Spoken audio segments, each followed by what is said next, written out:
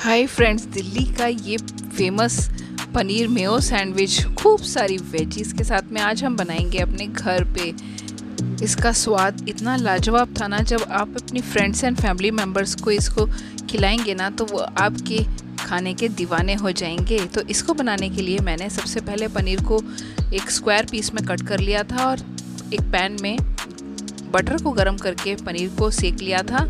दोनों साइड से सौते करने के बाद पनीर को यहाँ पर मैंने इसमें पेरी पेरी मसाला स्प्रिंकल करके इसको सेक लिया था। इससे इसका टेस्ट बहुत ही अच्छा आता है। अगर आपके पास पेरी पेरी मसाला नहीं है ना तो कोई भी इटालियन सीजनिंग ले लीजिए। अदरवाइज़ इसमें थोड़ी सी लाल मिर्च पाउडर और चाट मसाला डालकर भी आप इसको सेक सकते हैं। उससे भी टेस्ट बहुत ही अच्छा आता है।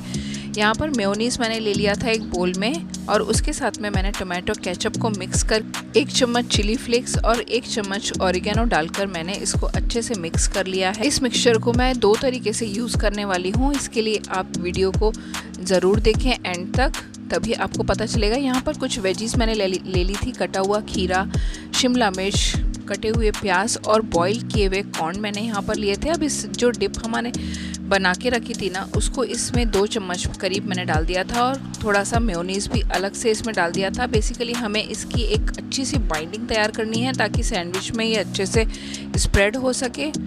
अब यहाँ पर आज मेरे पास में मल्टीग्रेन ब्रेड अवेलेबल थी, उसी से मैंने सैंडविचेस को बनाया है। आप चाहें तो वाइट ब्रेड या फिर ब्राउन ब्रेड भी ले सकते हैं। अब ये जो डिप हमारी बच गई थी ना, उसको भी मैंने सैंडविच पे अच्छे से स्प्रेड कर दिया था और दूसरी साइड में मैंने बटर लगा लिया था। इसको दोनों साइड से हमें ग्रिल करना है, इसलिए मैंने यहाँ पे बटर का इस्तेमाल किया है। अब जो वेजिस का मिक्सचर हमने बना के रखा था, उसको हम ब्रेड पे स्प्रेड कर देंगे। और साथ में यहाँ पर खूब सारा मोजरेला चीज़ के साथ में इसको हम टॉप कर देंगे। वैसे तो ग्रिल किए बिना ही ये सैंडविच बहुत ही टेस्टी लगता है।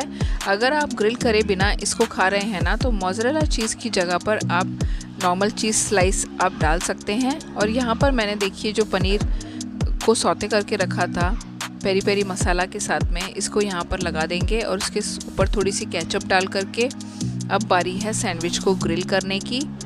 मैंने ना पहले से ही सैंडविच मेकर को प्री हीट कर लिया, उसके बाद में ये सैंडविचेस इसके अंदर रख दिए। अगर आप चाहें तो तवे पर भी इनको सेक सकते हैं अदरवाइज़ आपके पास अगर ग्रिल पैन है तो भी आप उसमें सेक सकते हैं। इनको लीजिए, हमारा सैंडविच बनकर एकदम तैयार है। बीच में से कट करके देखते हैं। और देखिए, ये चीज़ी सैंडविच कितना यमी लग रहा है ना। और इसमें जो चीज़ है ना, वो बहुत ही अच्छे से मेल्ट हुई है, देख सकते हैं आप। इतनी अच्छी लेयर्स आई हैं इसकी।